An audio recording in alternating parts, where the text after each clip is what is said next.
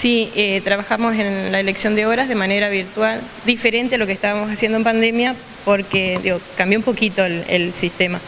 Pero por suerte todo bien, eh, resultó bastante positivo, de no ser alguna pequeña cosita ahí, pero este, muy bien.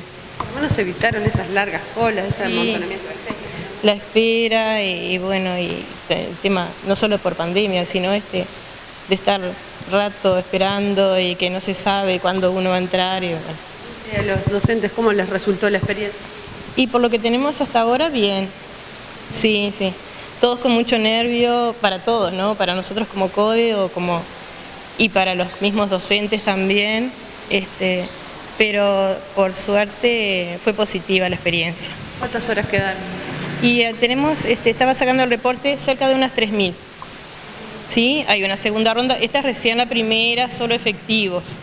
Después vuelven los efectivos, vuelven, este, van a estar los egresados, los interinos, pero seguramente en febrero. ¿La cifra es similar a lo que sea todos los años? Sí, sí, es similar, sí. Porque en la primera ronda este, estamos, generalmente estamos topeados en 20, 30 horas, ¿sí? según la asignatura, y bueno, y eso se mantiene. Ahora contame en, qué instancia está el liceo departamental en cuanto a los alumnos. Estamos terminando la primera etapa, sí, este, hasta mañana se toman los primeros, la segunda etapa de parciales del año. Y bueno, ahí los docentes le van a decir a, los alumnos si siguen una semanita más con apoyo, con alguna prueba, o si ya lograron este, la promoción con calificación 6. Desde el consejo nos bajaron a todos a calificación 6. Eh, lo que sí, este año no va a haber examen. Aún, digo ahora no, eh, pasan para febrero.